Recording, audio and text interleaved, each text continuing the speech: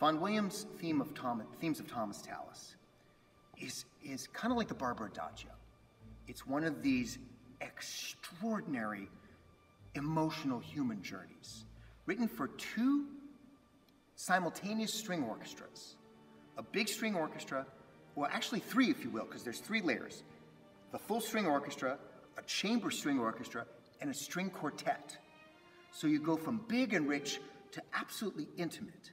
And, and these Vaughan Williams harmonies, the way he, he goes sort of, sort of against the traditional mode, but I, it's so beautiful. And let me tell you, many composers have borrowed. When you hear this piece, you'll know where John Williams got his harmonic language for Star Wars. There's something about the emotionality of this piece. There's something about the richness. There's something about the journey that absolutely transports the conductor, the musicians, and the audience.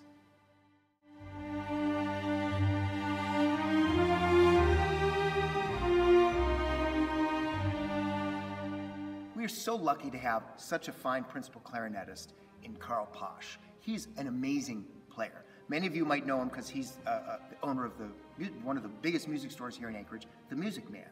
Well, Karl, several seasons ago, approached me, approached me with the idea. He said, "You know what? I'm writing a piece. Can I play some of the recordings? Would you look at the scores?" And I said, "Sure." So he showed me the piece, played the, you know, sort of little excerpts for me. I'm like, you know, this is kind of good, Karl. You should kind of stay with this. He's like, great, great, great. So, so as the piece evolved and evolved, he would show it to me, play it for me, and I would comment, well, you know, this section works really well, but here's what I don't think works with this section, blah, blah, blah, blah.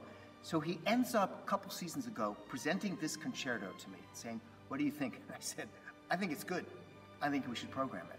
So I'm really proud of our friend and, Karl, and colleague Karl Pasch for writing a fine clarinet concerto, very jazz influenced, for clarinet and strings, and I'm really happy, in, in fact, overjoyed to be giving it its world premiere.